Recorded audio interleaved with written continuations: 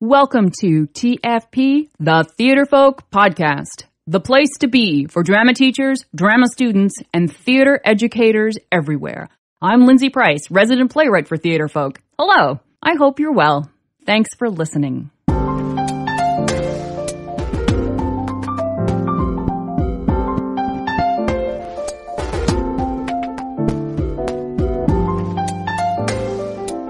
Welcome to episode 120. You can find any links for this episode at the show notes at theatrefolk.com forward slash episode 120.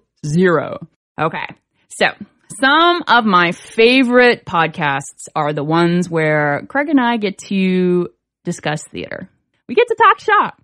And sometimes we agree and sometimes we, we disagree, but it's fun. It's fun to talk about the thing that we do and the plays that we've seen and, and it's good for the brain cells. So last month we were in New York and we got to talk a lot of theater because we saw a lot of theater, some of which we didn't like at all. And that led to this specific podcast. How do you review something that you don't like? How do you review it reflectively? In an objective manner. How do you teach a student to review something that they don't know how to articulate, right? So key for student reviewers. We've identified a process that we use with a play and that you can use in your classroom. Let's get to it. Okay, so hello everyone. Uh, today on the podcast, we are talking about reviewing the act of reviewing, how you can encourage your students to review in a reflective and an in-depth way so that they're not just saying, I like this play. I didn't like this play. I thought this play sucked. They've, we've got to get them to go further than that, right? If you're not doing reviews with your students, I think it's an excellent exercise. You know, if you have a drama club that's putting on a play, have your classrooms come to see the play and write a review. I think it's a great analysis exercise. So Craig and I, hello Craig. Hello Lindsay. We were in New York last month and we saw a number of plays, one of them that we didn't like at all, right? Yes. Yeah. But I mean, we can't just say I didn't like it, right? No. Well, I was just, I wanted to set that up because now what we're going to do is we're going to go through the process of reviewing the show and we're going to go beyond that. We're going to go beyond the, the simple gut reaction that we had to this show and write an effective review. So Okay. are you up for it? I'm up for it. Okay, so there's a couple of steps that we want to take. The first thing is uh, what is this show? So Craig, what was the show that we saw? First show we're going to talk about is a production of Tempest, and it's not the the Shakespeare play is called The Tempest, and this was called Tempest. Okay, so the first thing that you really want to do is you want to start gathering clues, right? What is the production trying to achieve is the question that as a reviewer you have to start with. And this usually is going to happen before you even see the play. Yes, luckily in our case we have you know their website and their marketing materials that tell us what it is that is they're attempting to accomplish in the show. So for this particular show, it says on their website, internationally renowned director Karin Coonrod and Obie Award-winning composer Elizabeth Swados bring their significant craft, daring, and imagination to Shakespeare's The Tempest in a world premiere music theater production at La Mama. I'll stop here. La Mama is a very well respected and well renowned alternative theater in Experimental theater, right? They they're they're supposed to be I guess on on in turning things upside down. yeah. And then it talks about the cast, but that's, That's so all we that's something that we need to know. We so that it's a music theater production. It's a whole new adaptation and look at Yep. The Tempest, and they've even changed the name to Tempest. Yes, I think that's really that's really key. You know, if you've got something that's well known and it's got a new name, okay, we're supposed to be looking at something new. And what are the three? There are three words there that they're they're describing their styles, isn't it? Like, uh, So craft, daring, and imagination. So that's a bit of a setup, right? If they're putting that in their marketing materials, that's what I'm expecting. That's what I'm expecting to see for sure. So we walked into the theater, and it was set up as one big long thrust, and we really thought it was cool. I thought it was very interesting because it reminded me of what I would expect to see in a Shakespearean theater, um, the court theaters, right? Is that what they were called? Yeah. Yes. So it was in, Shakespeare actually performed. Everyone thinks he performed at the Globe. He actually performed in kind of two theaters. He had there was also an indoor venue called the Blackfriars. This reminded me of how it would be set up there. It's basically one long thrust, and the audience sat on on three sides of the thrust. And there was a huge pendulum, I think. So it was sort of a globe that, that was set up.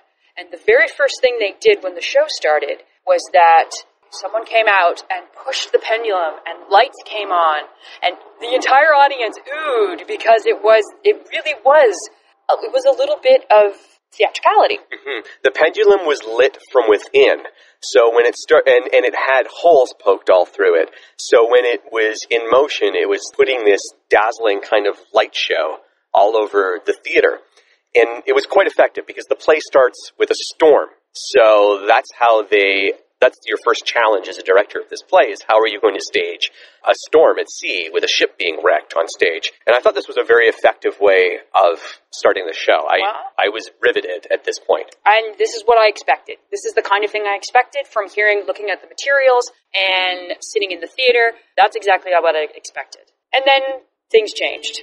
And it's really important that particularly to tell your students that if they're seeing something that they don't like you have to be even more particular and you have to be even more specific about what it is, and you have to start documenting. So the next question to ask is how does the production go about achieving their goals? What are they trying to achieve? They're trying to achieve something new, right? This uh, production of The Tempest changed the name, and they're very specific about saying that this is going to have craft and imagination. And it's a musical. And it is a music. Yeah, that's right. It's taking the Shakespeare into a new level because it, it has a musical form. So what you want to do is you want to start looking at how does it go about achieving these goals? Is there imagination? Well, that opening had a lot of imagination, right? Mm-hmm. Yes. The first thing that happens in Shakespeare in this play is that there is a huge storm. And then afterwards, Prospero, the main character, tells a very, very long story. Yes, it's actually not the greatest bit of writing on Shakespeare's part because it's all exposition. It's this long, multi-page story about how it is that Prospero and his daughter Miranda came to be on this island. They've been stuck on this island for uh, many years. And in any production of The Tempest that I've been involved with or I have seen, there's also an attempt to tell the story non-verbally. Sometimes there's a dumb show, sometimes there's a video, because it's, it's a lot of text that we're going through. My expectations for this show were that that part was going to be done in a song or a musical number. Yep. Because this is a musical. musical.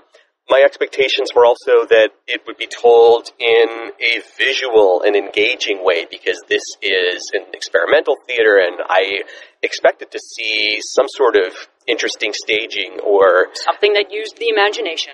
Mm-hmm. And my first clue that this production was going to fall short was in this particular section because the all the entire bit was just statically told as dialogue. This the same experience one would have if they read it in, in the script and, and listened to it in their heads. So we go on. What is the production trying to achieve? It's trying to achieve a musical theater production. It's trying to achieve something new, and it's trying to achieve something with the imagination. Let's go with those three. Was it new? No. Did they uh, try to do this moment with musical theater? No. Did it have any imagination? No. So that's what you want to get, you know, when you, instead of saying, oh, this moment was so boring, you have your students identify what is the production trying to achieve and then answer the, and then apply it. How does it go about achieving it? Are they achieving what it is they're trying, are they achieving it? And here, in this first bit, the answer is no. No. So let's talk about something that, that was new, and that is the approach of Ariel in this production. The character of Ariel is usually a very, is a sprite and it's usually played with a lot of physical movement, with a lot of otherworldly costuming, with a lot of imagination and play because he's not a, he's not human. He's not a real person. No. This part was played by a Broadway actor, a young actor. He was the played the lead in Billy Elliot. And the way that he was directed and the way that it was staged is that this actor played the character of Ariel as he as if he was Billy Elliot, Hmm. Every line he gave was accompanied with a ballet move. or very much a Broadway musical theater move. hmm And it was very much against the style of everything that had come before his entrance. That's another thing I'd like to address in this show is that every single grouping of characters had a completely different style of performance. Like they were all in different plays. Mhm. I want to believe that this was an intentional thing from the director. If it wasn't, that's not a good thing because everything in the play should be intentional. So that goes into like, question three. So don't get too much into. Okay, sure. We'll go. We'll get. Oh, that's a little teaser for everybody. okay. But we were very confused because he wasn't dressed as Ariel is usually dressed, and he didn't act the way that Ariel usually acts. Okay, so are they doing something new with this character? The answer is yes, and we're going to leave it at that. It's not whether or not we like it or we don't like it. Is it addressing what the production is trying to achieve? We have to say that yes, because it because he's different. He's different we kind of think that the production was trying to purposefully ground Ariel and sort of force him to be human because at the end took off all his worldly human clothes and but he didn't do anything different then. He just walked off stage. So now let's talk about the music. So it's a musical theater production. Can I address that? You betcha. Okay. what I would love to address about this is that in the play, the original play, The Tempest, there are several songs, maybe four or five songs. And with maybe one or two very tiny exceptions, those were the only songs that were in the show. It was a great deal of a long time. We were very deep into the show before we first heard our first song. And this is supposed to be a musical theater adaptation. And so what confused me with this production was what was different about the music in this show than there would be in any other show because there is music in The Tempest. It's a play that's very magical. The island is, you know, possessed with all sorts of magic and sprites and fairies and who knows what's going on in this island. And I felt that there were a great many opportunities to turn moments of this play into what was promised music, whereas I, I think there was only one or two times where they made a song out of something. And in those instances, they really only just used the Shakespeare text and just kind of tried to squeeze a melody to it. They took a, they would take a, a soliloquy of Ariel's and just kind of have him sing it. I, was he the only one who really sang? No, Trinculo sang. Right. Well, but they sing in the in the original and they play. do sing yeah. in the original play too. So, okay, so now we're addressing uh, how does it go about achieving these goals? For the musical theater part, they only they for the most part only used the, the lyrics that are in the original production and a lyric fashion that I don't quite understand. It, you're supposed if it, I think that at some point if you have musical theater, leave the theater and it's in your head. Hmm. One song should be in your head. No, I couldn't tell you one tune from the show. Which leads us into the last question. How effective is the production? So you have what is the production trying to achieve? We think this production was trying to achieve musical theater, imagination, and something new. How does it go about achieving these goals? Changing some of the characters. Ariel is not played any way that he is usually. Imagination, we have the wonderful pendulum at the beginning, and musical theater having some of the lyrics of the text put to music. But how effective is all this? Not effective at all. not well, not really, and not if you're talking about doing something new and exciting. And the only new exciting thing you do is at the very beginning of the play, Yep. in a moment that's always done in some kind of different theatrical way. It sadly went for after that moment. It went for another two hours without really seeing any kind of magic. And this is a play about magic. Yes, there was so little magic. And that's how effective is this production?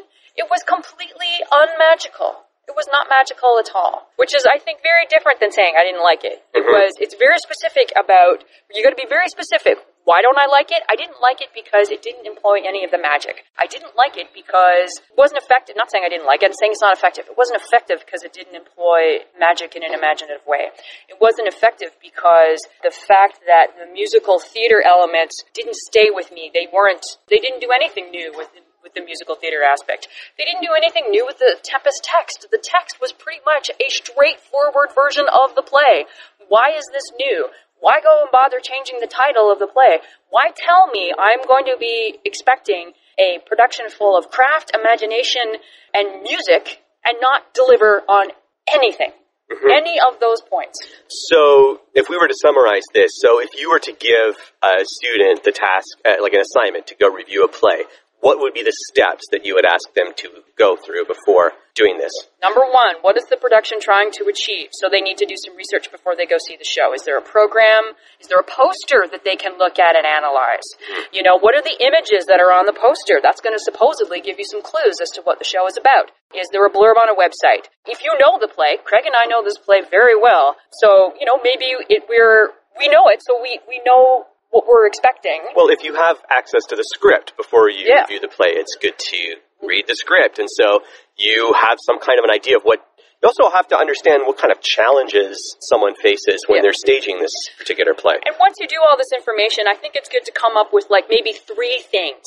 So, what is the production trying to achieve? Three words or three sentences so that you can apply question number two. So, for in this case, for us, it was imagination, new, and musical theater. How does it go about achieving these goals? So, if you have three things that you can identify as what the production is trying to achieve, you can just make point form notes under each one of those things as you watch the show. It's not about liking or disliking. It's what are they trying to do. So I think it's even though I, I what didn't like it at all was the way that Ariel was portrayed new. Yep. So that goes down there. And then lastly, once you have all this information, how effective is the production? They have what they're trying to achieve, and you know exactly how they tried to do that. What's your personal reflection on that in terms of whether it was effective or not? Not like or dislike, effectiveness. And uh, I have to mention, too, that in this last question, you have to address the audience. You have to address the audience response. Was there laughter? Was there shifting in seats because people were bored? Was there applause at the end? Was there a standing ovation at the end? What was your impression of the audience's reaction to My the play? impression of the audience's reaction was that it was a lot of theater people. Mhm, I felt that too. I felt that a lot of people in the audience either knew someone in the play. It- We saw, in all fairness, we did see uh, the show at a preview. So I'm not going to address the fact that a great number of actors were not good on their lines.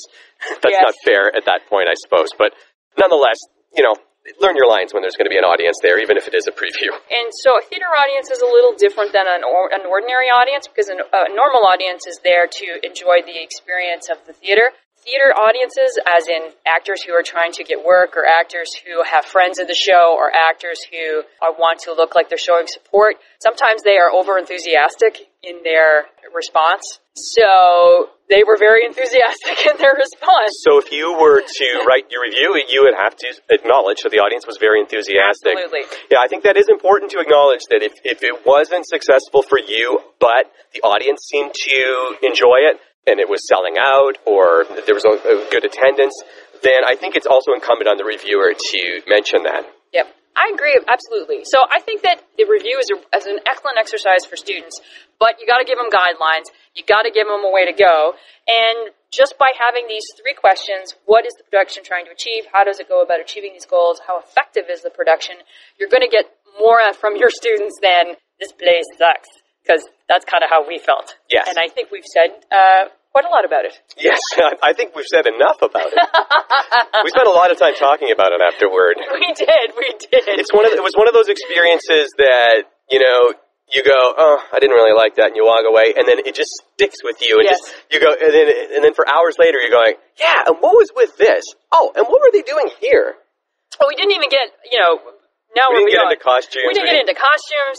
We didn't even get into it. Just it just felt like everybody was in a different play. Like uh, it was, and if that was the case, because the, the the person who played Prospero was a television actor. The the person who played Caliban was a very uh, documented Shakespearean actor, and he really felt like he was in a Shakespeare play. Ariel, as we said, was a Billy Elliot Broadway performer, and if that was the purpose of the show, was to have all these people, in, and, and then the Trinculo and Stephano were, but they're always in their own play. If it was that was the purpose to have all of these characters in different styles and genres, it didn't go far enough. It just looked to me like everyone was making was making a mistake rather than making a purposeful choice. And that's how I feel. Yes. Okay, awesome. Uh, What more is there what to say? more is there to say? And we will wrap it up right now. Thank you very much. Did you get those three questions? What is the production trying to achieve? How does the production try to achieve those goals? How effective is the production? If you go to the show notes for this episode, theatrefolk.com forward slash episode 120, 120, you can find a handout for your students that outlines the process for this reflective review. Finally, where oh where can you find this podcast? We post new episodes every Tuesday at theatrefolk.com and on our Facebook page and Twitter. You can find us on youtube.com forward slash theatrefolk and you can find us on the Stitcher app. You can also subscribe to TFP on iTunes. All you have to do is search for the word theatrefolk. And that's where we're going to end. Take care, my friends. Take care.